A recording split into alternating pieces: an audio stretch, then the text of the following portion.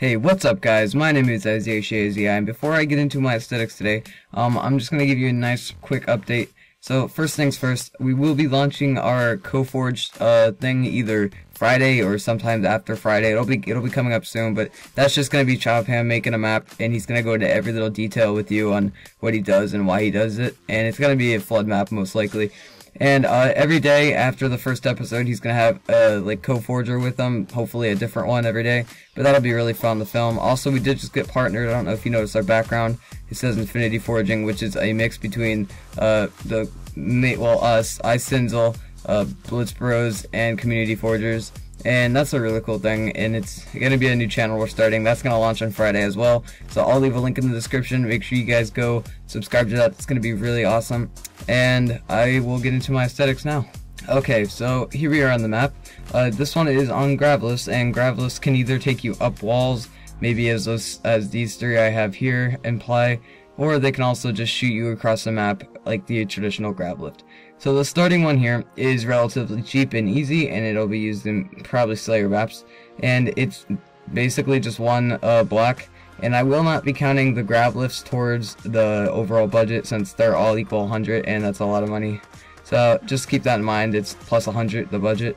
And basically this is just a strut on a 5 degree incline I believe and that's just going to make it that nice ramp there right up to the grav lift. This next one is going to be a bunker box, which is kind of a weird piece. But that one's just going to come up just like this, and I'm pretty sure that's just on a 90 degree.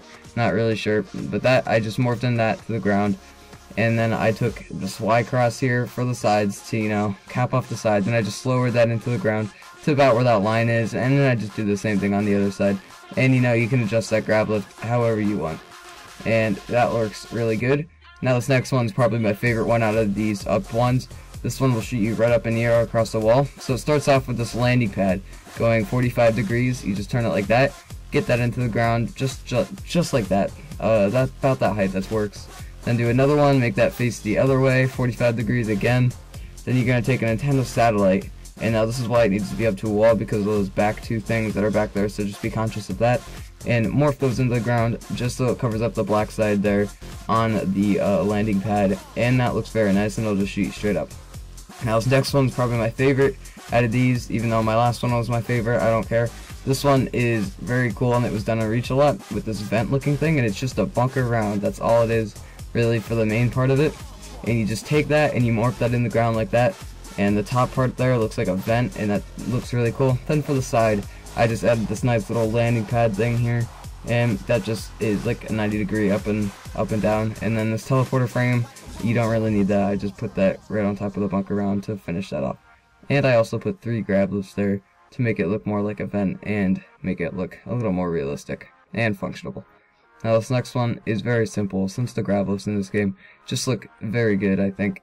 I just took it and put it 90 degrees facing upwards and then for this little lip thing at the end here is just an antenna satellite and it's just up at a 90 degrees just like that and just morphed that in the ground so that little flat part in the middle there is gone.